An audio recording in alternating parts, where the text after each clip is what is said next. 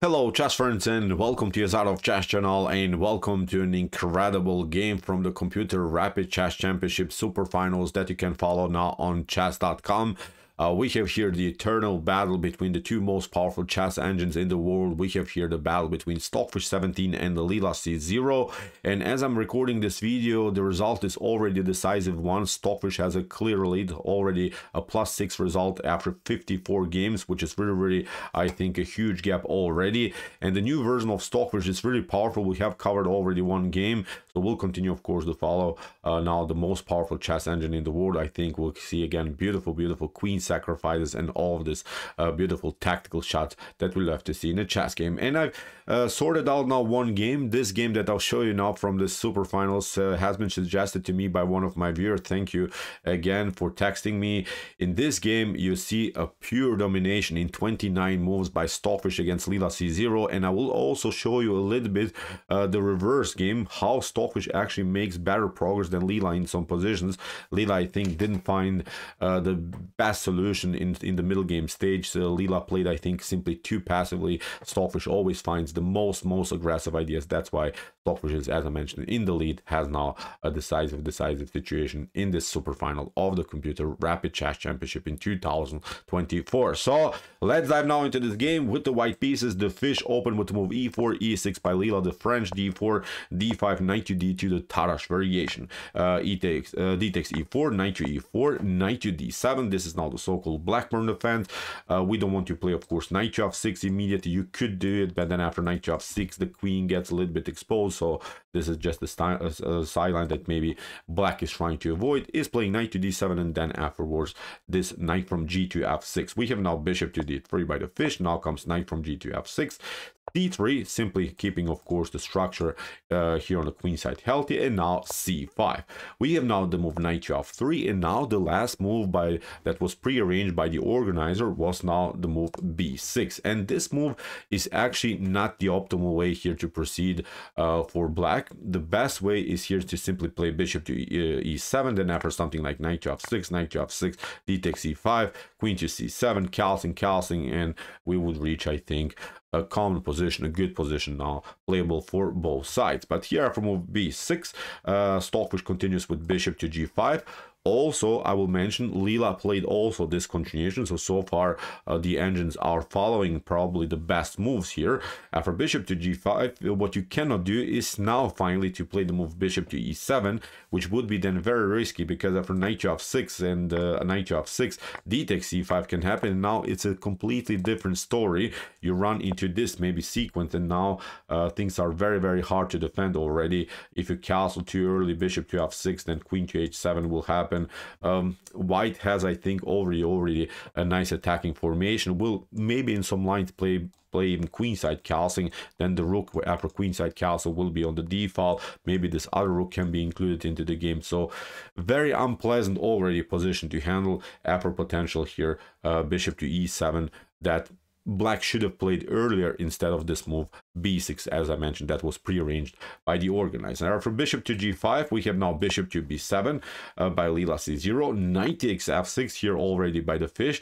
If you play now knight to f6 this wasn't playing the game. Then again it gets uh, very messy here after the slight problems with queen to a4 uh, we can maybe cover that then bishop to uh, bishop to b5 again simply wins the game here for white. So that's why for knight to f6 the issue is that actually you have to mess up now your pawn structure with the move g takes f6 bishop to f4 here by uh, stockfish 17 bishop to g7 and now queen to e2 preparing now queenside castling here by the fish.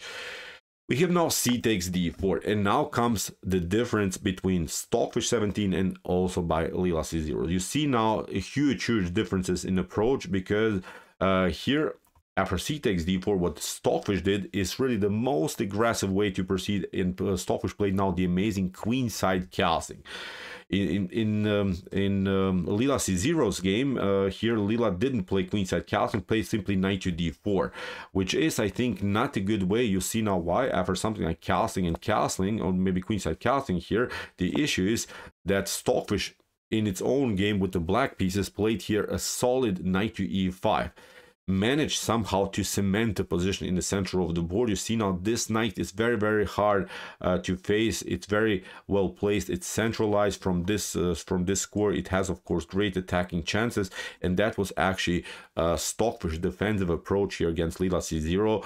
Uh, and the game ended actually with a draw. So Stockfish managed to uh, defend its position somehow. So see after c takes d4, uh, Leela took, knight takes d4, but Stockfish played here instead of uh, knight takes d4 an aggressive queenside castling. So the fish is very, very the most aggressive chess engine in the world. It's simply the sharpest attacker is basically saying show me what you got. What are you going to do now? Because there is already the tension on the d file. the king is very very weak here. You have to secure it somewhere. So that's why Leela tried kingside castling even if you try here something like d takes c3 maybe to continue uh, to take pawns here on the queen side and maybe you're trying somehow to endanger uh, white king here on c1 it's not working because of bishop to b5 and now after something like this you have to cover now your knight with bishop to c8 very passive and then for bishop to d6 I'm not sure what black is going to do now in the next couple of moves. You see the king is simply stuck here. Uh, we will, of course, double up here on the d file. We'll simply continue the pressure. I think uh, tactically, this is game over already for black. So after queenside castling, that's why kingside castling by Leela c0. Stockfish doesn't even care for this pawn on d4, like we've seen Leela took it. But Stockfish is saying, I have already, already great attacking chances with bishop to d3 here, with this very active bishop, with the possibility maybe to get with the knight into the game. The rook is very active. Stockfish simply improves a little bit the position of the bishop, is threatening now dangerous, dangerous tactics with queen to d3 and maybe delivering a checkmate already on h7. So queen to c8 by Leela, trying to do something uh, here on this side of the board. Rook takes d4 by the fish. The issue is uh, here you cannot play e5 seems tempting, seems like you maybe uh, winning your piece, but then after knight to h4, you can get your rook, but look at this. Again, the stuff, queen to d3, f5, knight to f5, now the knight could maybe cover uh, here the square h7, but then of course knight to e7, uh, you get the royal fork, and again, it would be game over uh, here for black. So you see rook to d4, incredible, incredible tactics, allowing here even e5, but you saw it leads into a complicated game. And for black, after rook to d4, that's why knight to c5 by Leela. So it, Leela is trying to battle. This knight is okay, very well placed. At least it's protecting some uh, somehow the position. It's now active, and Leela is trying to do some counterplay, of course, uh, here on the c file. Stockfish continues with rook to d2, rook to e8, knight to d4 e5 here by Leela c0. Again, the fork. Stockfish again allows uh, this dangerous fork against two pieces, but now obviously knight to f5. We have e takes f4. Stockfish sacrifice now a piece, but has now this very, very aggressive knight on f5.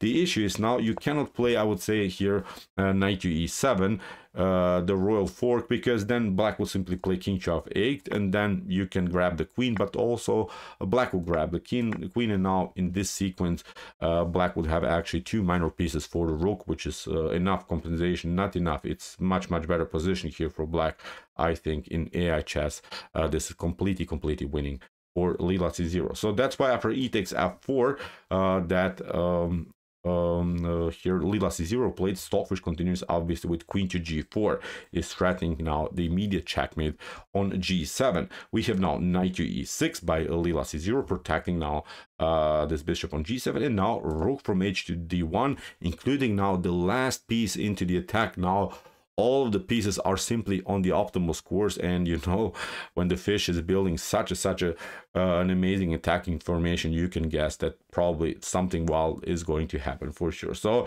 here after move rook to d1 the only way the only way that my stockfish engine at home suggests that you should play is maybe with queen to c5 maybe you're trying to hold this position somehow then allow maybe something like i don't know h4 h4 h5 h6 is then the threat. And then you're trying maybe i don't know king to h8 it's not working for instance in this position because after rook to d7 bishop to c6 then you get this one uh, then you're getting destroyed. Maybe here bishop to c8 can be played but then uh, again rook to d8 can be very messy. You have to of course uh, step back here. If you try something like this uh, then the knight can get deflected from the defense of the g7 square and it would be again game over. So after rook to d8 you would be pretty much forced to play bishop to b7 and now white would actually threat here with rook to d6 the tactic rook takes e6 and then the checkmate.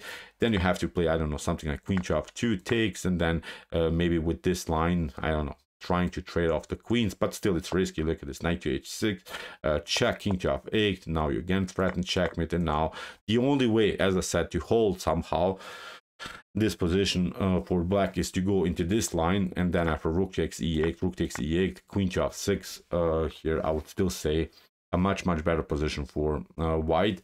Black has, of course, this two uh, two pawns here uh, has when it comes to really uh, pure material, it is about equal the position, but uh, we have to say king is very endangered. Uh, the queen will come on the seventh rank. The rook can come on the seventh rank. This is weak. You try maybe I don't know queen to g2, then you lose this one. So very very tough to uh, a tough position, of course, to base here from black's perspective. So that's why for rook from uh, h to d1, Leela made another mistake in the game. Didn't play the optimal, as we said, queen to c5, played now a risky f3. Tried to do something there, but Stockfish doesn't care. Plays now a beautiful rook to d7. Uh, again, even if you try, I don't know, something like knight to g5 here, then knight takes g7, knight king takes g7 and h4, again wins the piece back. So I would say again, a much, much better position for white. So that's why for rook to d7, we have f takes g2, which is now a new blunder by Leela c0. And now uh, there's nothing that can be done. Stockfish is playing now an incredible, incredible tactical sequence. First of all, with knight to h6, we have king to h8. If you go, of course, here, uh, then you get checkmate in one with rook to f7. That's the beauty about this rook on the seventh rank. After knight to h6, we have king to h8. Uh, now comes knight takes f7. We have king to g8, and now a beautiful, stunning follow-up. Bishop takes h7, sacrificing simply the bishop if you pick it up i wanted to show you. This wasn't playing the game but mm, now it gets very very tricky here. Look at this queen to h5 king to g8 and now you get queen to h8 uh, this would be an immortal immortal tactical shot unfortunately for the beauty of the game. This wasn't leela's continuation but i wanted to show you after this bishop to h7 if you pick up the piece. Look at this queen to h8 bishop to h8 knight to h6 check. You have to go to f8 and then again this beautiful pattern here with rook to f7 game over here for black. So after bishop to h7, that's why Leela tried uh, king to f8, didn't take it out because it was a forced checkmate sequence, but it's a forced checkmate sequence anyway. Now comes knight to e5, incredible, incredible tactic uh, here by uh, Stockfish. If you try something like this, then queen to f5 again uh, leads into checkmate. So here that's why after knight to e5 we have bishop to h6, the check, Stockfish steps back, bishop to e4, this just prolongs the game. Here after a couple more moves, uh, knight to g6, king to f7, rook takes d7, rook to e7, and now after rook takes e7, it was an amazing checkmate delivered by the beautiful knight and uh, rook's activity. So Great, great game. Great attack here by the fish, sacrificing again this piece in the middle game state just in order to open the position in front of Black's king. Um, you saw the differences uh, in the approach by Stockfish and also by Leela C0. Let's go back, as I said, to this critical moment. After queen to e2 and c takes d4, uh, Leela played here knight takes d4 in the game with the white pieces, allowed here uh, this move knight to e5, where I think okay, white is still much, much better, but uh, black has, I think, somehow the position that maybe black can hold. Uh, Stockfish, as I said, managed to defend his position and got a draw. Stockfish, on the other hand, after c takes d4, played the more aggressive queenside castling and uh, demolished really Leela C0's defense. Incredible immortal game here by Stockfish 17. So Okay, I hope that you enjoyed this game. I really, really enjoyed it a lot. Great, great attack here by the fish. If you want to see some other spectacular, beautiful, sharp tactical games like this, uh, check out our Come to Chess Games Play by Computers. Here's the link of our playlist. And if you like this content, hit the subscribe button. See you soon with some more videos. And what do we say in the end? Chess is the best, of course.